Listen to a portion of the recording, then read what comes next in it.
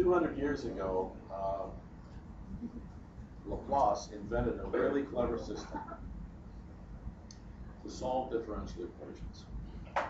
And the, the idea is to start out with functions whose derivatives would be taken, first, second, third derivatives and so forth are gonna be taken, uh, with respect to a variable t, say.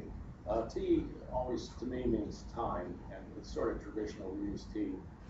So you have functions, you can think of them as time.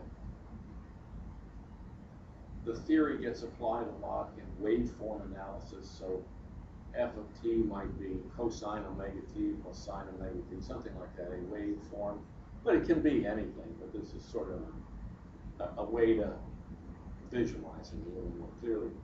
So we have functions with respect to this variable t, and we do something to them called Laplace transforming them. And then we have a companion function, capital F, of the different variable s. And then if f of t is involved in a differential equation, in some complicated differential equation,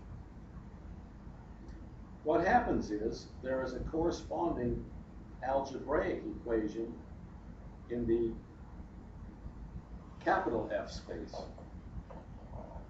And to solve the differential equation, it suffices to solve the algebraic equation in the capital F space and then transform back. inverse. Right, an inverse Laplace transform.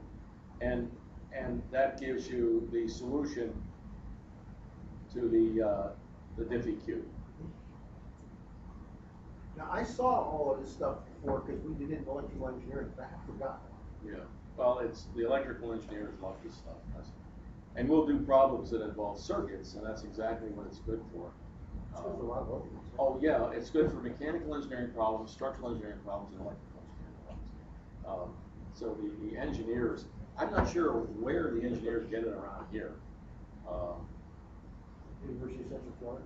No, no, no, no, I mean, the, the engineers at this school, I don't know when they're exposed to this. It is being taught now in Diffie Q. In twenty-four oh two? Yeah. Uh, they said it, it was just like once over lightning. Well, I don't know how in depth they go, but Yeah, but I mean, you don't have a lot of time to do it. I it. took it when it was linear ops in Diffie Q. They didn't even touch on this. No, There's no. a chapter that skipped over. They're probably doing it a little bit in, in twenty-four oh two at the behest of the engineers. But what I'd like to do is really, really go into it in some detail. So that's the happy theory. Differential equation transformed to an algebraic dual space, solve it algebraically, and transform back to the solution differential equation. And here's what a Laplace transform, I mean, there are many transforms in life. There's Laplace transforms, there's Fourier transforms, there's Mellin transforms, this, that, and the other thing. And usually, uh, the, the Laplace transform falls in the category of an integral transform. So the transformation is defined by an integration. So if I start out with a function, So Aren't the Fourier transforms also integral transforms? Sine I, cosine. I thought, I was- did I s- just not say that? No, you said Laplace were integral transforms. And then didn't I say Fourier and Mellin? Mellin? Oh. I'll write it down. No, for, see, Fourier transforms, I, I remember. Yeah. These are the big three. Yeah. And a Laplace transform is this. I have my function f of t, which is involved in a differential equation. And I'm gonna multiply it by what you can regard as a, an extinction factor or damping factor. For large values of s, what does e to the minus st look like for a fixed t? It starts to look like zero. So for values far away from the S origin in S space, uh, this product is small, right, for a fixed t. And I integrate that with respect to t. So away go all the t's. This t will be gone, that t will be gone, and the result will be a function of s, capital F s, and my domain of integration is from the origin to plus infinity. So that's the basic definition. we write, for shorthand, script L, like the British pound sign without the line through it, script L of FT. And if you want to be really trendy, you can even write this. And you'd know what you meant there as long as you have, uh, the context is clear. That. Okay, so what I suggest we do is develop a list.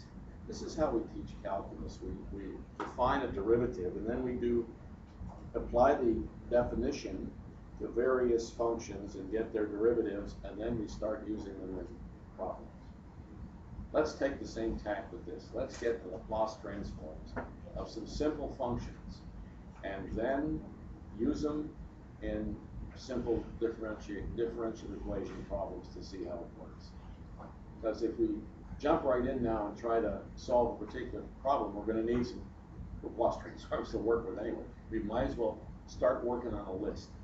And we'll develop a list. We'll have an F of T column and a capital F of S column.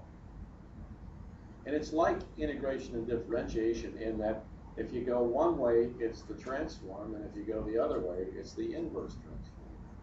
So it's two for the price of one. Okay? Can we point out from the definition of what the Laplace transform is, that it's a linear operator? That's one of the theorems we'll prove. Okay. The very first order of business is to, is to think about sufficient conditions for the existence of the transform.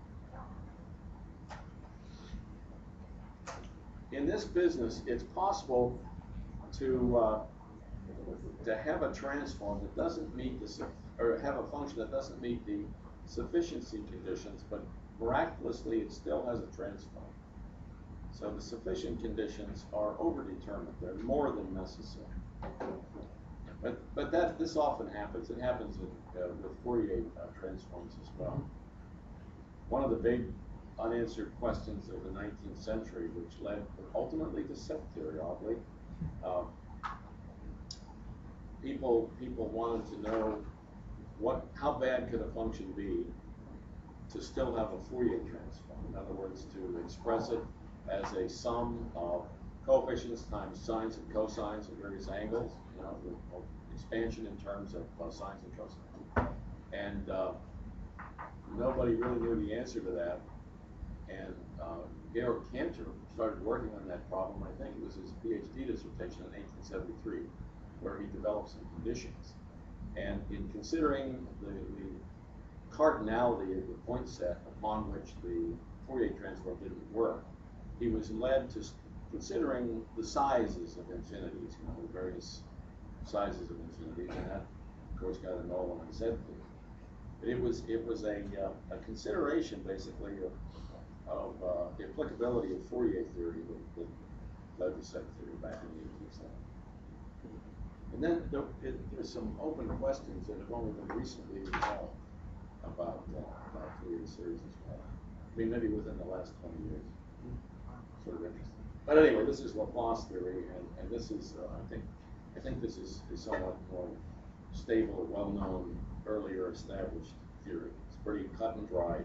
We like cut and dried stuff. This is like a quadratic formula on steroids, you know, it's, it's, just works, works. Right.